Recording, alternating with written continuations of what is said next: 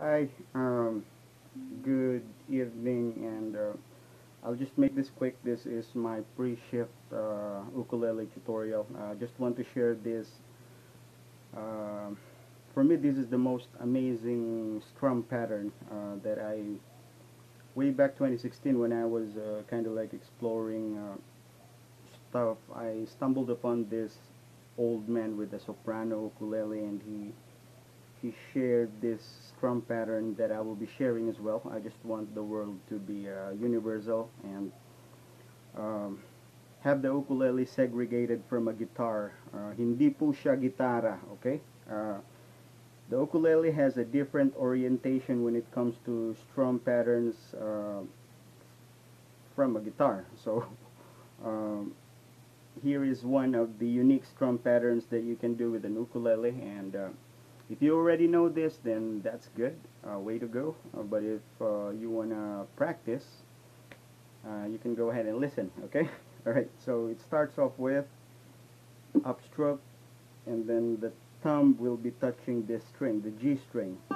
By the way we are on a standard G C E A goat can eat any any grass or it's not basically anything okay any leaf or any grass. Okay.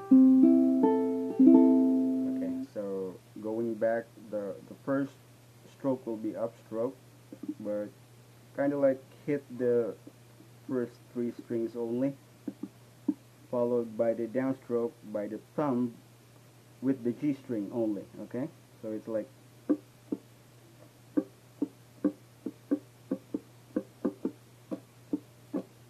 can do also do some downstroke here. I think it's easier.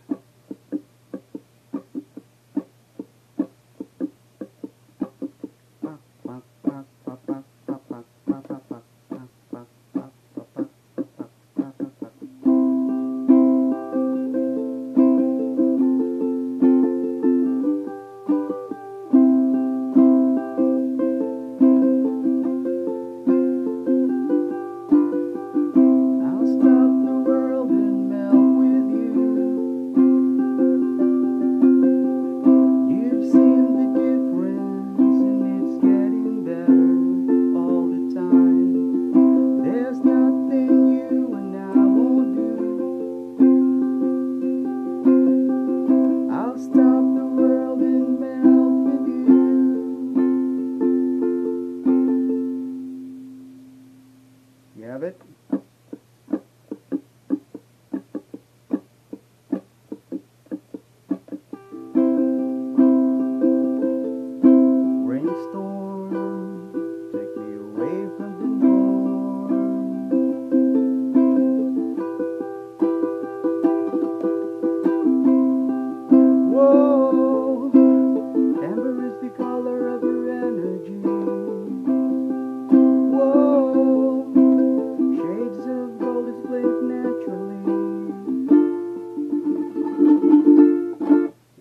Amazing. So that's it.